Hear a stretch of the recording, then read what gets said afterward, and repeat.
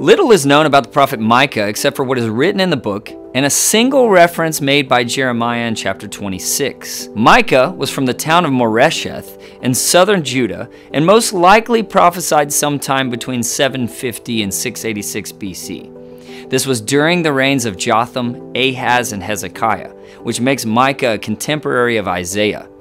Micah seems especially sensitive to the social ills of his day, particularly how they affected the small towns and the villages of his homeland.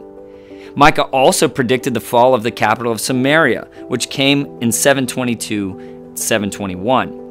And the structure of the book of Micah is a collection of short prophetic messages organized into a pattern of three cycles of judgment and salvation and deliverance. In fact, Micah's messages alternate between prophecies of doom and prophecies of hope.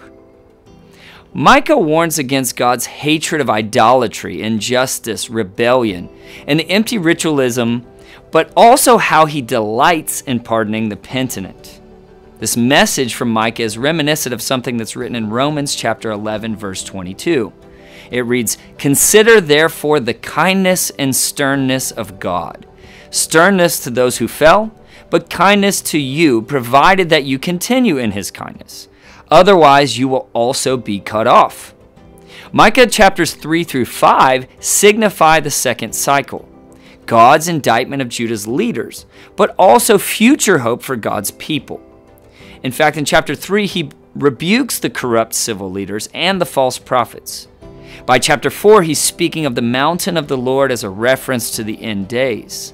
A rather famous description and imagery is described in Micah chapter 4, verses 3 through 4. It reads, He will judge between the many peoples and will settle disputes for strong nations far and wide. They will beat their swords into plowshares and their spears into pruning hooks.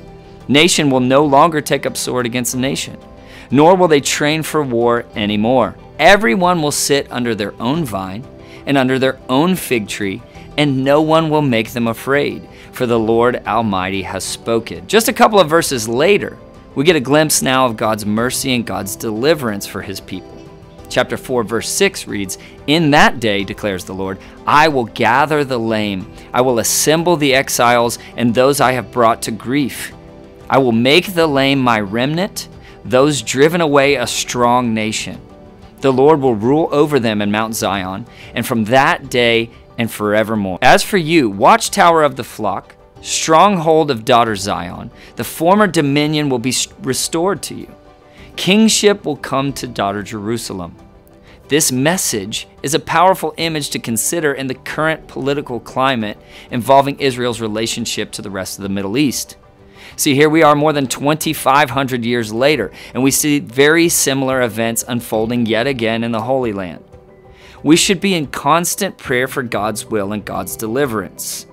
Because what we see in God's word is that the patterns repeat, but God's word is true, and his prophecies will always come to pass.